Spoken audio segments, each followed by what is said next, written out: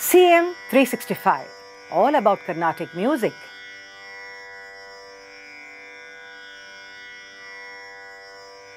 While the great Vaggeyakaras have given us several beautiful compositions, we see that the Lakshana aspects of music were analyzed and codified by theoreticians who did actually a commendable work, I would say, in terms of bridging the Lakshya and Lakshana aspect of our Carnatic music. In fact, these kind of uh, writers of uh, these treatises, important treatises which we have got over the years, so many of them, they play a very vital role, I would say, in terms of helping us understand the history of music, understanding the growth of music, and how music was prevalent at that time. Especially in this uh, times of the pre-Trinity, we could say that uh, in the absence of any audio material available to us, uh, probably these kind of uh, works are a treasure in terms of understanding the whole gamut of music itself. Today, in this context, I'm going to talk to you about Ramamatya, who is the author of the wonderful work Swaramela Kalanidhi. He actually was a Telugu Brahmin and grandson of Kalinatha. And Kalinatha, we all know, was the great commentator on the Sangita Ratnakara. So he belonged to a great lineage, I would say.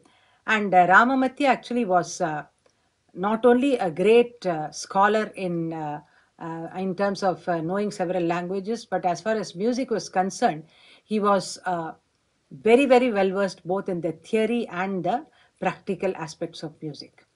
And that way, we could say that he was really a very ideal choice in terms of writing this particular treatise. He actually was uh, adorning the court of King Ramaraja of Vijayanagar kingdom. And uh, the king actually uh, requested him to write a new treatise on music, reconciling the conflicts in terms of the views that were there in vogue in theory and Lakshana. And it is said that uh, for taking up this work, the king rewarded him immensely in terms of giving a portion of his fort to this uh, Ramamatya, as well as several uh, valuable presents were bestowed on him for taking up and completing this work successfully. Ramamatya actually finished writing this work in uh, August 1550 AD. And uh, what is the contents of this book? Uh, it is absolutely, totally, I would say, when you read this work, you know that it is all practically allied. And there is so much of information for us to look into it in terms of how the practical aspects at that time were in vogue. He divides his uh, work actually into five chapters.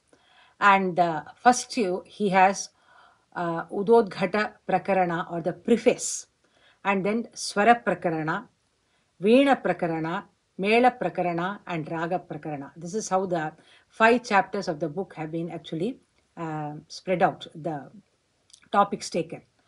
And uh, in the beginning, you see that uh, he gives a benediction to Narayana. In the first chapter, he narrates actually on Rama Raja's uh, pedigree, his devotion and prowess, and uh, obviously because the king has supported this venture so much uh, in terms of giving him so much of valuable presents and other things, he dedicates his entire work actually as a gratitude to the king. Coming to the main chapters, that is the Swara chapter, we see that uh, he first of all defines Swara and classifies music here as Gandharva and Gana. Then he also talks about Nada and its varieties. And he makes a very detailed analysis of the Swaras in this particular chapter on Swara Prakarana. The next one, of course, uh, is on the Veena. And uh, from the chapter, when you read, you understand what a great uh, musician he was in terms of knowing the nuances of the Veena itself. And uh, he extols the greatness of the Veena and uh, he classifies them into Shuddha Mela Veena, Madhyama Mela Veena, and Achyuta Rajendra Mela. And each again, again, he gives further two categories like uh, Ekaraga and uh, the second one is Sarva Mela Veena. In Ekaraga Veena, what he means is that there are movable frets which can change according to the ragam. Like in the sitar, you know, there are movable frets. In something like that, you can imagine where the frets are not fixed. Whereas the other kind he mentions here are the ones where there are fixed frets. Then coming to the next chapter on Mela Prakarana, he talks about 20 melas. And in the Raga Prakarana, uh, of course, he gives the different categories of ragas like Uttama Raga, Madhyama Ragama, and Adhama Raga. Uttama Raga, of course, he makes a mention and says that these are ragas which are ideal and suitable for composing compositions like the Prabandha, Gita, etc.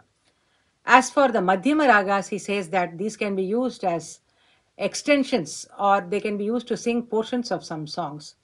Whereas the Adhama, the name itself signifies that they are not suitable for compositions.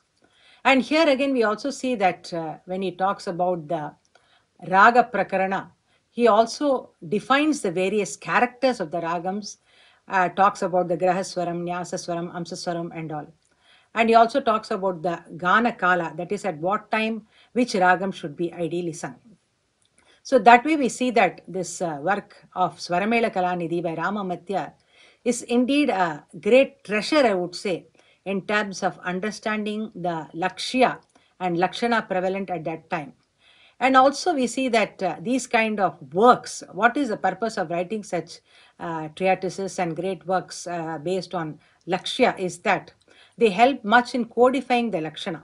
So nobody can actually say that uh, they are uh, the things actually work in vacuum. It's not like that. We have some background, and based on that only, we are actually evolving our own music. So that way, we see that these kind of works uh, are very, very useful in terms of understanding what our music is all, all about. CM 365, all about Carnatic music.